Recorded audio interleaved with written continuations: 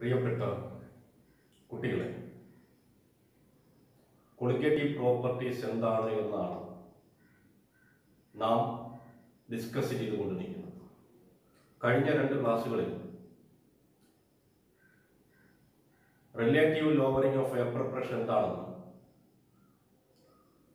Elevation of boiling point എന്താണെന്നും നമ്മൾ discuss ചെയ്തു കഴിഞ്ഞു. ഇന്നിവിടെ നാം depression in freezing point of the solvent എന്താണ് എന്നാണ് ഡിസ്കസ് ചെയ്യുന്നത്. ഇപ്പൊ depression in freezing point discuss ചെയ്യണമെങ്കിൽ ആദ്യം എന്താണ് ഫ്രീസിംഗ് പോയിന്റ് എന്ന് നാം അറിയേണ്ടതായി. എന്താണ് ഫ്രീസിംഗ് പോയിന്റ് ഇപ്പൊ എന്റെ കൈവശം ഒരു ലിക്വിഡ് ഉണ്ട്. ആ ലിക്വിഡിനെ ഞാൻ തണുപ്പിക്കുക. തണുപ്പിക്കുക എന്ന് പറഞ്ഞാൽ അർത്ഥം എന്താ? ടെമ്പറേച്ചർ കുറയ്ക്കുക. അപ്പൊ ആ ലിക്വിഡിന്റെ അല്ലെങ്കിൽ ആ സോൾവെന്റിന്റെ ടെമ്പറേച്ചർ ഞാൻ കുറച്ച് കുറച്ച് കുറച്ച് കൊണ്ടുവരിക. അങ്ങനെ കുറച്ച് കൊണ്ടുവരുന്ന സമയത്ത് ഒരു പർട്ടിക്കുലർ ടെമ്പറേച്ചർ ആവുന്ന സമയത്ത് ഈ ലിക്വിഡ് എന്തായിട്ട് കൺവേർട്ട് ചെയ്യപ്പെടും? സോളിഡ് ആയിട്ട് കൺവേർട്ട് ചെയ്യപ്പെടും. അപ്പൊ ഏത് ടെമ്പറേച്ചറിൽ വച്ചാണോ ഒരു ലിക്വിഡ് സോളിഡ് ആയിട്ട് കൺവേർട്ട് ചെയ്യുന്നത് ആ ടെമ്പറേച്ചറിനെ നമ്മൾ പറയുന്ന പേരാണ് ആ ലിക്വിഡിന്റെ അല്ലെങ്കിൽ ആ സോൾവെന്റിന്റെ ഫ്രീസിംഗ് പോയിന്റ് എന്ന് നാം വിളിക്കുന്നത്. ആ ടെമ്പറേച്ചറിന് എന്താണ് ആ ടെമ്പറേച്ചറിലുള്ള പ്രത്യേകത? അതാണ് നമ്മൾ ശ്രദ്ധിക്കേണ്ട ഒരു വിഷയം. ആ ഒരു പർട്ടിക്കുലർ ടെമ്പറേച്ചറിൽ ലിക്വിഡിന്റെയും സോളിഡിന്റെയും വേപ്പർ ഫേ സോളിഡിന്റെയും ലിക്വിഡിന്റെയും സോളിഡിന്റെയും വേപ്പർ പ്രഷർ സെയിം ആകും അങ്ങനെ സെയിം ആവുന്ന ടെമ്പറേച്ചറിലാണ് ഒരു ലിക്വിഡ് സോളിഡ് ആയിട്ട് കൺവേർട്ട് ചെയ്യുന്നത്. അതുകൊണ്ടാണ് ആ ടെമ്പറേച്ചറിനെ നമ്മൾ നമ്മൾ ഫ്രീസിംഗ് പോയിന്റ് എന്ന് വിളിക്കുന്നത്. അപ്പൊ what is freezing point freezing point is the temperature at which it's liquid and solid phase have same vapor pressure. That is the definition of freezing point.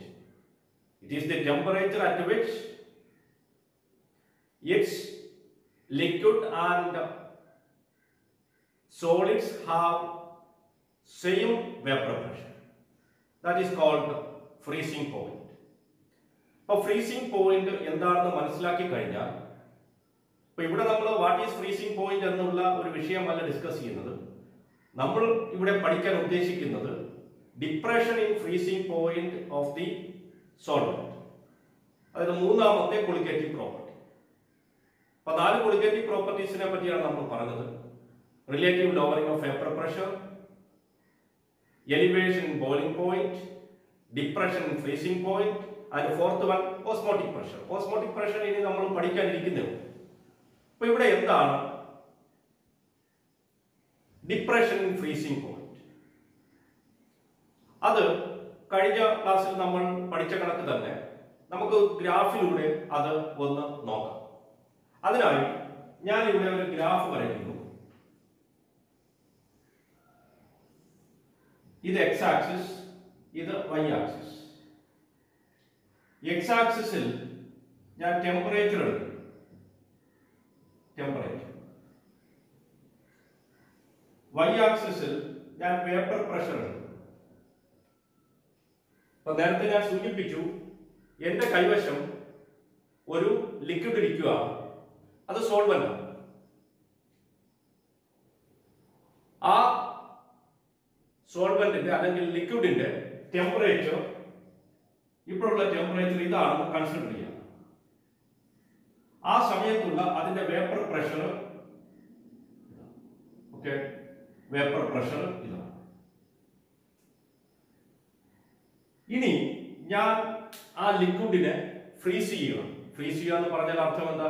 Temperature കുറച്ചു കൊണ്ടുവരിക അപ്പോ നമുക്കറിയാം ടെമ്പറേച്ചർ ഇവിടെ ആയപ്പോ അതിന്റെ വേപ്പർ പ്രഷർ ഇവിടെ. അങ്ങനെ ഞാൻ കുറച്ച് കുറച്ച് കുറച്ച് കൊണ്ടുവരുവാണ് വേപ്പർ പ്രഷർ ഇങ്ങനെ കുറഞ്ഞ് കുറഞ്ഞ് വരികയാണ് ഇവിടെ വെച്ച് അതിന്റെ വേപ്പർ പ്രഷർ ഇപ്പൊ ഇവിടെ അതിന്റെ വേപ്പർ പ്രഷർ നമുക്കറിയാം. ഇവിടെയാണ് കാണുന്നത് ഈ ടെമ്പറേച്ചറിൽ അതിന്റെ വേപ്പർ പ്രഷർ ഇവിടെ അടുത്ത ടെമ്പറേച്ചർ ആകുമ്പോൾ സഡൻ ആയിട്ട് അതിന്റെ വേപ്പർ പ്രഷർ ഒന്ന് കുറഞ്ഞു. ഇങ്ങനെ ഒന്ന് കുറഞ്ഞു. അപ്പൊ ഇവിടെ വേപ്പർ പ്രഷർ സഡൻ ആയിട്ട് കുറയാനുള്ള കാരണം എന്താണ്? അവിടെ വെച്ച് ഈ ടെമ്പറേച്ചറിൽ വെച്ച് ആ ലിക്വിഡ് സോൾഡിഫൈ ചെയ്യാൻ തുടങ്ങി. അപ്പൊ നമുക്ക് ഇതൊന്ന് ഇതാണ് ആ കർവ് എന്നിട്ട് ഇവിടെ വന്നപ്പോ എന്ത് ചെയ്തു? ഇത് ഇങ്ങനെയാണ് ചെയ്യുക. അപ്പോൾ ഈ ടെമ്പറേച്ചറിൽ വെച്ചാണ് ഈ പറയുന്ന സഡൻ ചേഞ്ച് സംഭവിച്ചത്. അപ്പൊ ഞാൻ അതിനെ ഒന്ന് താഴോട്ട് പ്ലോട്ട് ചെയ്ത് നോക്കുക അപ്പൊ ഈ ടെമ്പറേച്ചറിൽ വെച്ചാണ് ലിക്വിഡ് എന്തായിട്ട് മാറിയത്? സോളിഡ് ആയിട്ട് മാറി അപ്പോ ഇത് ലിക്വിഡ് സോൾവെന്റ് ആണ്. Liquid solvent. അതിന്റെ ഗ്രാഫ്. ഇപ്പോൾ അത് സോളിഡ് ആയിട്ട് മാറി. ഇവിടെ അത് സോളിഡ് ആണ്.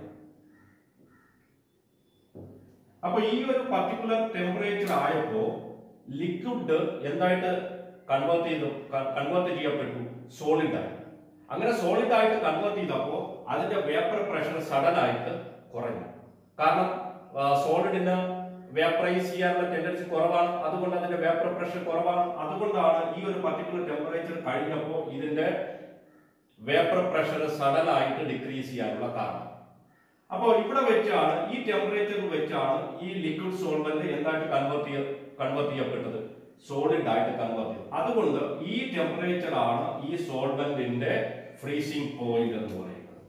So freezing point of the freezing point of the pure solvent freezing point of the pure solvent T0 F എന്ന് എഴുതുന്നു freezing point of the pure solvent T0 F okay ശരി ഇനി ഈ പറയുന്ന സോൾവെന്റിലോട്ട് ഞാൻ കുറച്ച് നോൺ വോളറ്റൈൽ സൊല്യൂട്ട് ആയി അപ്പോൾ അത് എന്തായി മാറി സൊല്യൂഷൻ ആയിട്ട് മാറി അപ്പോൾ എന്താ സംഭവിക്കുക അവിടെ അതിന്റെ വേപ്പർ പ്രഷർ കുറഞ്ഞു. അപ്പോൾ ഈ ടെമ്പറേച്ചറിൽ ആ സൊല്യൂഷന്റെ വേപ്പർ പ്രഷർ കുറഞ്ഞു. ഇവിടെ. അതിങ്ങനെ കുറഞ്ഞ് കുറഞ്ഞ് നമ്മൾ ഫ്രീസ് ചെയ്യുന്നതിനനുസരിച്ച് കുറഞ്ഞ് കുറഞ്ഞ് ഇവിടെ ഇങ്ങനെ വന്ന് ഇങ്ങനെ വന്ന് ഇവിടെ വന്ന് മുട്ടി ഫ്രീസ് ചെയ്തോ ഇല്ല. എന്നിട്ട് ഇവൻ ഇവിടെ വന്ന് മുട്ടി അപ്പോ അത് ഫ്രീസായി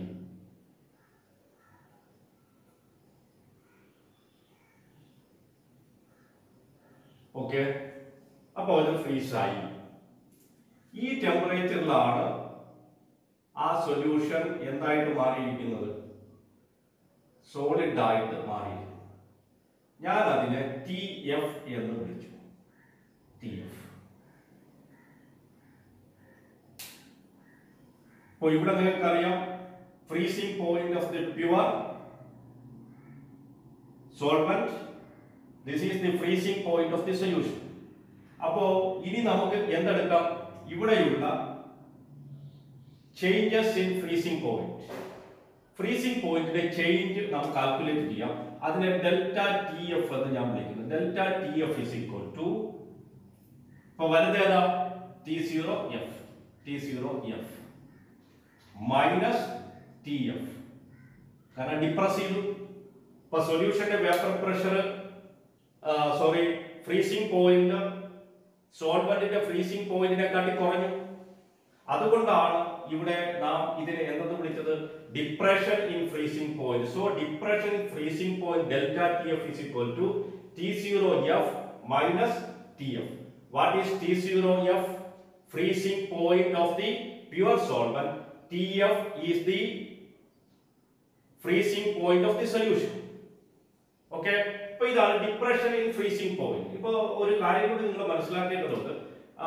നമ്മൾ കഴിഞ്ഞ ക്ലാസ്സിൽ delta T B is equal to T B minus T zero B എന്നാണ് പഠിച്ചത്. അങ്ങനെ പഠിക്കാൻ കാരണം ഇവിടെ T B minus T zero B ഇവിടെ T zero F minus T F ഇവിടെ T B minus T zero B വരാൻ കാരണം ബോയിലിംഗ് പോയിന്റ് ഇൻക്രീസ് അതുകൊണ്ടാണ് T B minus T zero B ഇവിടെ ആണെങ്കിൽ ഫ്രീസിംഗ് പോയിന്റ് ഡിക്രീസ് ചെയ്തു കുറഞ്ഞു. അതുകൊണ്ടാണ് T zero F minus T F അപ്പൊ ഇത് രണ്ടും കൂടി ഒരിക്കലും കൺഫ്യൂഷൻ ഉണ്ടാകാൻ പാടില്ല. അപ്പൊ ഇതിന്റെ ഡിഫറൻസ് നിങ്ങൾക്ക് മനസ്സിലായി എന്ന് ധരിക്കുന്നു. ഓക്കെ ഇനി കുറച്ച് ഡീറ്റെയിൽഡ് ആയിട്ട് നമുക്ക് നോക്കാം. കഴിഞ്ഞ ക്ലാസ്സിൽ നമ്മൾ ഡിസ്കസ് ചെയ്ത കണക്ക് തന്നെ കഴിഞ്ഞ ക്ലാസ് കൃത്യമായിട്ട് പഠിക്കുന്ന കുട്ടിക്ക് ഈ ഡിപ്രഷൻ ഫ്രീസിംഗ് പോയിന്റ് ഈസി ആയിട്ട് പഠിക്കാൻ സാധിക്കുന്നതാണ് അപ്പോ കഴിഞ്ഞ സ്ഥലത്തും ഞാൻ ഒരു ഗ്രാഫ് രണ്ടാമത് വേറൊരു ഗ്രാഫ് വരച്ചു ഇത് പരീക്ഷയ്ക്ക് വരയ്ക്കേണ്ട ആവശ്യമില്ല. ഇത് നിങ്ങൾക്ക് കൂടുതൽ മനസ്സിലാക്കാൻ വേണ്ടി സാർ വരയ്ക്കുന്ന ഒരു ഗ്രാഫ്. ഇവിടെ ടെമ്പറേച്ചർ ഇവിടെ വേപ്പർ പ്രഷർ നേരത്തെ ഉള്ള ഗ്രാഫ് നമ്മൾ വരച്ചു. ഇങ്ങനെ കുറഞ്ഞു കുറഞ്ഞു വന്നു. ഇവിടെ നിന്ന് വന്നിട്ട് അത് സഡൻ ആയിട്ട് ഇങ്ങോട്ട് കുറഞ്ഞിങ്ങനെ വന്നു. ഇവിടെ ഞാൻ അതിന് ടി സീറോ എഫ് ഇത് സോൾവെന്റ് ആണ് ലിക്വിഡ് സോൾവെന്റ് ആണ്. അതിന്റെ ഗ്രാഫാണ് ഞാൻ വരച്ചിരിക്കുന്നത്. ഇവിടെ വെച്ചാണ് ആ ലിക്വിഡ് സോൾവെന്റ് സോളിഡ് ആയിട്ട് മാറിയത്. ഇത് സോളിഡ് ആണ്. ഓക്കെ ഇത് അതിന്റെ ഫ്രീസിംഗ് പോയിന്റ് ആണ് ടി സീറോ എഫ് ഇതിലോട്ട് ഞാൻ കുറച്ച് നോൺ വോളറ്റൈൽ സൊല്യൂട്ട് ആയിരുന്നു. വേപ്പർ പ്രഷർ കുറഞ്ഞു. അതിങ്ങനെ കുറഞ്ഞു കുറഞ്ഞു കുറഞ്ഞു ഇവിടെ വന്ന് മുട്ടി. അപ്പോൾ ഇവിടെ വെച്ച് ഈ സൊല്യൂഷൻ എന്തായിട്ട് മാറി? സോളിഡ് ആയിട്ട് മാറി. ഇതാണ് അതിന്റെ freezing point T F one എന്ന് വിളിക്കുന്നു. കാരണം ഇത് ഞാൻ ഒന്നാമത്തെ സൊല്യൂഷൻ സൊല്യൂഷൻ വൺ എന്ന് എടുത്തു. സൊല്യൂഷൻ വൺ അതുകൊണ്ട് ടി എഫ് വൺ എന്ന് പറഞ്ഞാൽ എന്താ? Freezing point of the solution one ഞാൻ ഈ എടുത്ത സൊല്യൂഷൻ വണ്ണിലോട്ട് കുറച്ചുകൂടെ നോൺ വോളറ്റൈൽ സൊല്യൂട്ട് ആണ്. അപ്പൊ അത് രണ്ടാമത്തെ സൊല്യൂഷനാണ് വേറൊരു സൊല്യൂഷനായി അവിടെയും വേപ്പർ പ്രഷർ കുറഞ്ഞു. അപ്പൊ നമ്മൾ ഗ്രാഫ് പ്ലോട്ട് ചെയ്തു. ഇങ്ങനെ കുറഞ്ഞു കുറഞ്ഞു കുറഞ്ഞു കുറഞ്ഞ്. അത് ഇവിടെ വന്ന് മുട്ടി. അപ്പോൾ അതെന്തായിട്ട് മാറി? സോളിഡ് ഈ ടെമ്പറേച്ചർ വെച്ചാണ് ഇവിടുത്തെ സൊല്യൂഷൻ ടു എന്ന് പറയുന്നത് സോളിഡ് ആയിട്ട് മാറുന്നത്. So T F two okay അപ്പോ ഇവിടെ നോക്കാം. ഇതെന്താണ്? ഡിഫറൻഷ്യൽ വേപ്പർ പ്രഷർ ഈ ഡിഫറൻഷ്യൽ വേപ്പർ പ്രഷർ വന്നപ്പോൾ ഇവിടുത്തെ ഡിഫറൻഷ്യൽ ഫ്രീസിംഗ് പോയിന്റ് ഇതാണ്. ഇതാണ് ഡെൽറ്റ ടി എഫ് ഇനി നമ്മൾ നോക്കൂ. അടുത്ത സോൾവെന്റും ഈ സൊല്യൂഷനും തമ്മിലുള്ള ഡിഫറൻസ് ഇൻ വേപ്പർ പ്രഷർ എന്ന് പറയുന്നത് ഇത്രയുമാണ്. അപ്പൊ ഡിഫറൻസ് ഇൻ വേപ്പർ പ്രഷർ ഇവിടെ കൂടി. അപ്പൊ ഡിഫറൻസ് ഇൻ വേപ്പർ പ്രഷർ കൂടിയപ്പോ ഇവിടെ എന്ത് സംഭവിച്ചു? ഡിഫറൻസ് ഇൻ ഫ്രീസിംഗ് പോയിന്റും എന്ത് ചെയ്തു? കൂടി. അപ്പോൾ ഇനി നമുക്ക് എന്താ പറയാൻ സാധിക്കുന്നത്? Difference in vapour pressure is directly proportional to difference in freezing point delta T F equation number one സംശയം ഉണ്ടാവേണ്ട കാര്യമില്ല. കഴിഞ്ഞ ക്ലാസ്സിൽ പഠിച്ച കണക്ക് തന്നെയാണ് അവിടെ delta P proportional to delta T B എന്നെടുത്തു അത് ബോയിലിംഗ് പോയിന്റ് കേസ് ആയതുകൊണ്ട് ഇവിടെ delta P proportional to delta T F എന്നെടുത്തു കാരണം എന്താ? ഇത് ഫ്രീസിംഗ് പോയിന്റ് ആണ്. അപ്പോൾ ഇതാണ് ഇക്വേഷൻ നമ്പർ വൺ കഴിഞ്ഞ ക്ലാസ്സിൽ നമ്മൾ വേറൊരു ഇക്വേഷൻ കൂടെ പഠിച്ചു. എന്താ പഠിച്ചത്? Delta P proportional to delta P proportional to chi B equation number two ഇവിടെ ഇത് എങ്ങനെ കിട്ടിയെന്ന് ഞാൻ എക്സ്പ്ലെയിൻ ചെയ്യേണ്ട കാര്യമില്ല. കാരണം കഴിഞ്ഞ ക്ലാസ്സിൽ അത് നമ്മൾ നമ്മൾ പഠിച്ചൊരു കാര്യമാണ്. അതുകൊണ്ട് അതിന്റെ ഡിസ്കഷനിലോട്ട് പോകുന്നില്ല. Then comparing the equations 1 and 2 we get delta tf proportional to chi b എന്തുകൊണ്ടാണ് ഇങ്ങനെ കിട്ടിയത് കാരണം ഇവിടെ ലെഫ്റ്റ് ഹാൻഡ് സൈഡ് ഈക്വൽ ആണ്. ലെഫ്റ്റ് ഹാൻഡ് സൈഡ് ഈക്വൽ ആണെങ്കിൽ റൈറ്റ് ഹാൻഡ് സൈഡും എന്തായി എന്തായിരിക്കും? ഈക്വൽ ആയിരിക്കും. അതുകൊണ്ടാണ് നാം ഇവിടെ എന്തെഴുതിയിരിക്കുന്നത് delta T F proportional to chi B okay so delta T F ഞാൻ ഈ പ്രൊപ്പോർഷണലിറ്റി സൈൻ മാറ്റാൻ വേണ്ടി ഒരു കോൺസ്റ്റന്റ് കൊണ്ട് മൾട്ടിപ്ലൈ ചെയ്യുന്നു. കെ ഇന്റു കൈ ബി ഇനി നമുക്കറിയാം കൈ ബി എന്ന് പറയുന്നത് എന്താണ്? N P divided by N A plus N B ആണ്. ഇവിടത്തെ എൻ പി നമ്മൾ നെഗ്ലക്ട് ചെയ്യുന്നു. എന്താ കാരണം? ഒരു ഡൈല്യൂട്ട് സൊല്യൂഷൻ ആണ്. അതുകൊണ്ട് എന്ന് പറയുന്നത് N P divide by N A okay അപ്പോ അത് ഇവിടെ സബ്സ്റ്റിറ്റ്യൂട്ട് ചെയ്യുന്നു. Delta T F is equal to K into N B divided by N A okay so delta T F is equal to K into ഇനി N B എന്ന് പറയുന്നത് number of moles of solute എങ്ങനെ കണ്ടുപിടിക്കും? Number of moles of solute is equal to number of moles of solute is equal to weight of solute divided by molar mass of solute അങ്ങനെയാണെങ്കിൽ N A is equal to weight of solvent weight of solvent divided by molar mass of molar mass of solvent A ഇവിടെ N B weight of solute divide by molar mass of solute ഇവിടെ N A അതായത് number of moles of solvent എന്ന് പറയുന്നത് weight of solvent divide by molar mass of solvent ഇത് നമ്മൾ ഇതിലോട്ട് substitute ചെയ്യുന്ന സമയത്ത് W B divided by M B the whole divided By W A divided by M A okay So delta TF is equal to K into WB divided by MB. ഇതിനെ ഞാൻ cross multiply ചെയ്യുന്നു that is M A divided by W okay so delta T F is equal to delta T F is equal to K into M A into WB divided by MB into WA. Okay, so delta TF is equal to K ഒരു constant ആണ്.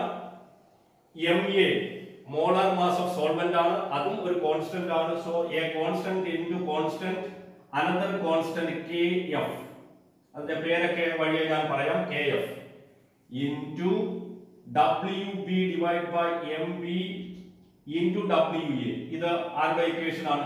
മൊഡാലിറ്റിയുടെ equation ആണ്. M കഴിഞ്ഞ ക്ലാസ്സിൽ നമ്മൾ പഠിച്ചത് തന്നെയാണ്.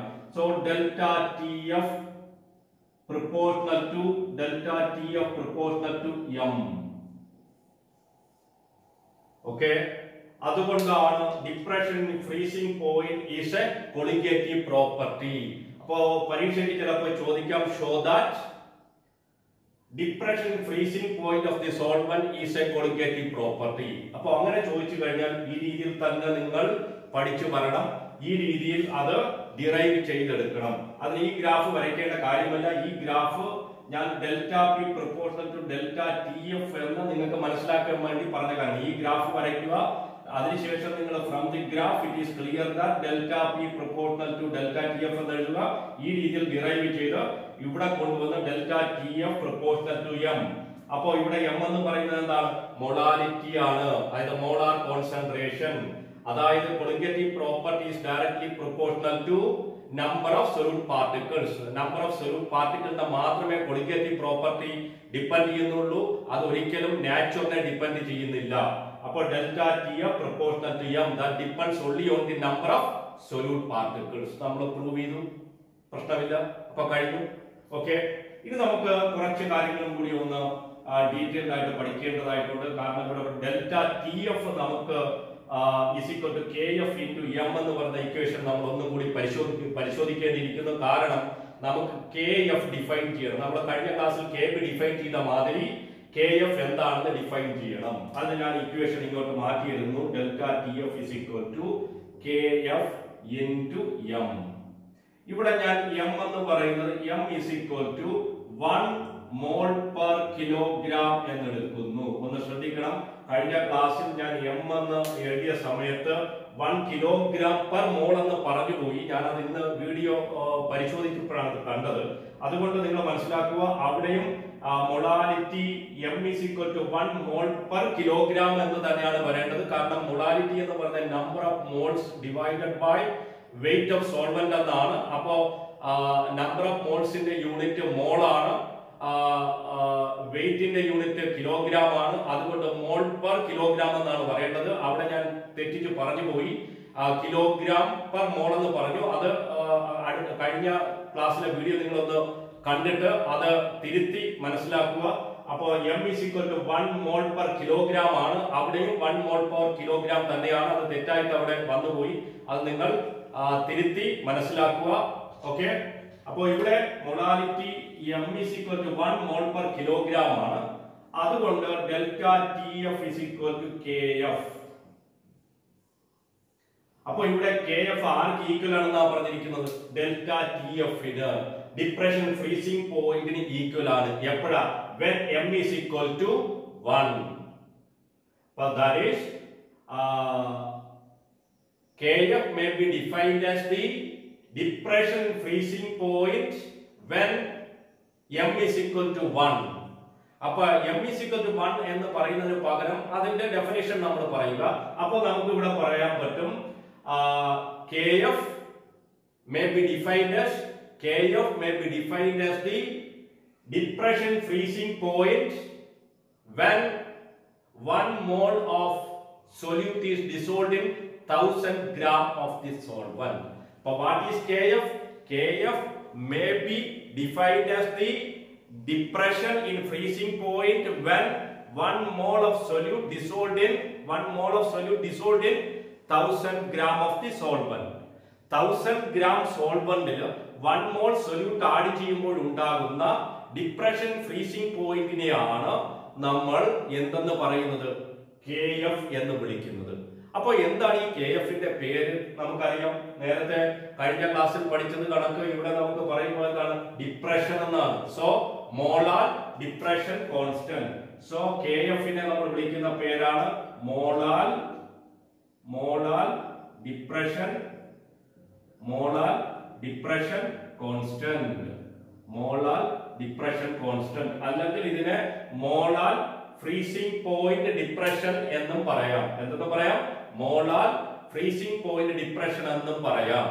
അതുപോലെ തന്നെ തണുപ്പിക്കുന്ന റിയാക്ഷൻസിനെ അല്ലെങ്കിൽ കൂളി ചെയ്യിപ്പിക്കുന്ന റിയാക്ഷൻസിനെ അല്ലെങ്കിൽ ഫ്രീസ് ചെയ്യിപ്പിക്കുന്ന റിയാക്ഷൻസിനെ കെമിസ്ട്രിയിൽ വിളിക്കുന്ന പേരാണ് ക്രയോസ്കോപ്പി ക്രയോസ്കോപ്പി അതുകൊണ്ട് ഇതിനെ ക്രയോസ്കോപ്പി കോൺസ്റ്റന്റ് എന്നും നമുക്ക് വിളിക്കാം. ക്രയോസ്കോപ്പിക് കോൺസ്റ്റന്റ് എന്നും വിളിക്കാം. ക്രയോസ്കോപ്പിക് കോൺസ്റ്റന്റ് അപ്പോ കെ എഫ് എന്നും കെ എഫിന്റെ പേരാണ് molal depression constant or molal freezing point depression constant or cryoscopic constant അപ്പോൾ ക്രയോസ്കോപ്പിക് കോൺസ്റ്റന്റ് ഡെഫിനിഷൻ നിങ്ങൾക്ക് അറിയാം എന്താണ് definition depression in freezing point when one mole of solute dissolved in thousand gram of the solvent okay okay കുറച്ചുകൂടി നമുക്ക് detailed ആയിട്ട് ഒന്ന് പരിശോധിക്കാം. ഇത് ഞാൻ എറൈസ് ചെയ്ത് കളയുന്നു. അടുത്തതായിട്ട് K F K F K F is equal to K into M A എന്നാണ് ഞാൻ വിളിച്ചത്. ഓക്കെ അത് നേരത്തെ നിങ്ങൾക്ക് കൃത്യമായിട്ട് കാര്യങ്ങൾ അറിയാം. That is K F is equal to K F K into M A അതിനെയാണ് നമ്മൾ കെ എഫ് എന്ന് വിളിച്ചിരിക്കുന്നത്. അത് ഞാൻ അവിടെ എഴുതി കെ എഫ് കിട്ടണമെങ്കിൽ ഒരു constant into molar mass of solvent അപ്പൊ molar mass of solvent constant ആണ് ഇതും കോൺസ്റ്റന്റ് ആണ്. അതുകൊണ്ട് അത് രണ്ടും കൂടി ഗുണിക്കുമ്പോൾ കിട്ടുന്നതും ഒരു കോൺസ്റ്റന്റ് ആണ്. അതിനെയാണ് നമ്മൾ മോളാർ ഡിപ്രഷൻ കോൺസ്റ്റന്റ് അല്ലെങ്കിൽ ക്രയോസ്കോപ്പിക് കോൺസ്റ്റന്റ് എന്ന് വിളിച്ചത്. അപ്പോൾ നമുക്ക് ഇവിടെ അറിയാവുന്ന ഒരു കാര്യം ഈ എം എ മാറുന്നതിനനുസരിച്ച് കെ എഫിന്റെ വാല്യൂ മാറും. ഓക്കെ അറിയണ്ടേ? അതറിയാം. ഓക്കെ അപ്പൊ ഇവിടെ നമ്മൾ K F K F of K F for water K F for water is equal to one point is equal to one point eight six in kilogram sorry kelvin kelvin kilogram per mole kilogram per mole എന്നാണ് ഇതിന്റെ value KF for water is equal to 1.86 kelvin kilogram per mole ഈ unit എങ്ങനെ കിട്ടിയെന്നുള്ളത് കഴിഞ്ഞ ക്ലാസ്സിൽ നമ്മൾ discuss ചെയ്തു. അതുകൊണ്ട് ഞാനിത് ഇവിടെ കൃത്യമായിട്ട് പറയുന്നില്ല. One point eight six kelvin kilogram per mole ഇപ്പൊ കെ ബി ഫോർ വാട്ടർ നമ്മൾ കഴിഞ്ഞ ക്ലാസ്സിൽ പഠിച്ചു. Zero point five two kelvin kilogram per mole അതുപോലെ cryoscopy constant for water is equal to one point eight six kelvin kilogram per mole okay okay ഇനി ഒരു കാര്യം കൂടി നമുക്കിവിടെ ഡിസ്കസ് ചെയ്യേണ്ടതായിട്ടുണ്ട്. ഇവിടെ ഒരു ഡിപ്രഷൻ ഫ്രീസിംഗ് പോയിന്റ് സംഭവിച്ചത് എപ്പോഴാണ്? നമുക്ക് തന്നിരിക്കുന്ന ഒരു ഗിവൺ സോൾവെന്റിലോട്ട് ഒരു നോൺ വോളറ്റൈൽ സൊല്യൂട്ട് ആഡ് ചെയ്തപ്പോഴാണ്. അങ്ങനെ ആഡ് ചെയ്ത നോൺ വോളറ്റൈൽ സൊല്യൂട്ടിന്റെ മോളാർ മാസ് ഡിറ്റർമിൻ ചെയ്യുക determination of molar mass of non volatile solute from depression freezing point okay അപ്പോ നമുക്കറിയാം delta T F is equal to K F into m അല്ലെങ്കിൽ നമുക്ക് അത് delta T F proportional to m എന്ന് പറഞ്ഞു തുടങ്ങാം. Delta T F proportional to m. So delta T F is equal to K F into m. So delta T F is equal to K into മൊളാലിറ്റിയുടെ equation നമുക്കറിയാം. M is equal to M is equal to എന്താണ്? N B divided by weight of solvent എന്നുള്ളതാണ്. അവിടെ M is equal to N B എന്ന് പറയുന്നത് എന്താണ്? Number of moles of solute divided by molar mass of solute so N W B divided by M B into W A അപ്പൊ ഇവിടെ ശ്രദ്ധിക്കേണ്ട കാര്യം ഇവിടെ വെയിറ്റ് ഓഫ് സോൾവെന്റ് ഗ്രാമിലാണ് തരുന്നതെങ്കിൽ ഇന്റു തൗസൻഡ് ഇനി മറിച്ച് കിലോഗ്രാമിലാണെങ്കിൽ ഈ തൗസൻഡിന്റെ ആവശ്യം അവിടെ ഇല്ല സോ ഞാൻ ഇവിടെ ആ ഇക്വേഷൻ സബ്സ്റ്റിറ്റ്യൂട്ട് ചെയ്ത് എമ്മിന് പകരം W B into thousand the whole divided by M B into W ഞാൻ ക്രോസ് മൾട്ടിപ്ലൈ ചെയ്യുന്നു. Delta T F into M B equal to thousand K F W B thousand K F W so നമുക്ക് എന്താ കണ്ടുപിടിക്കേണ്ടത്? Molar mass of non volatile solute ഇവിടുത്തെ molar mass of non volatile solute എന്ന് പറയുന്നത് M B so M B is equal to thousand K F WB whole divided by delta TF into WA. Now what is MB? Molar mass of solute. What is KF? Molar depression constant or cryoscopic constant. WB weight of solute. Delta TF dep depression in freezing point. WA WA weight of solvent. അപ്പൊ ഇത്രയുമാണ് ഈ ക്ലാസ്സിൽ നിങ്ങളുടെ അടുത്ത് പറയാൻ ഉദ്ദേശിച്ചത്. ഈ class നിങ്ങൾക്ക് മനസ്സിലായി കാണുമെന്ന് ധരിക്കുന്നു. ഇനി ഒരു രണ്ട് ക്ലാസ് കൊണ്ട് നമ്മുടെ സൊല്യൂഷൻ എന്ന് പറയുന്ന ചാപ്റ്റർ അവസാനിക്കും. ഇത് കണ്ട എല്ലാവർക്കും നന്ദി നമസ്കാരം.